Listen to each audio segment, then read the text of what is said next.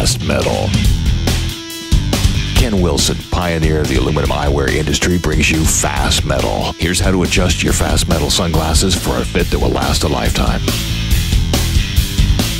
To loosen the fit, place the lenses against your chest, thumb and index fingers at the temple edges of the lenses. Pull outward repeatedly, gently but firmly, testing the fit as you go.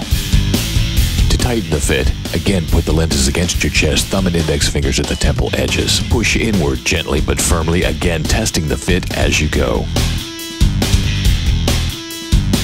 To adjust the fit of the temples, hold firmly at the base of the temple piece, pushing or pulling gently but firmly, testing the fit as you go.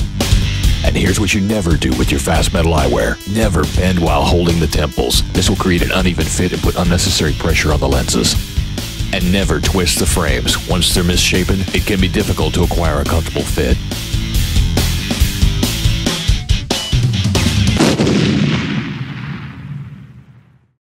Fast Metal. Here's how to replace the lens in your Fast Metal sunglasses. Place your thumb on the upper inside corner nearest the nose piece and push firmly. Once the original lens has been removed, place the new lens trailing edge first into the frame towards the temple piece. Seat the edges of the lens around the circumference of the lens and snap into place.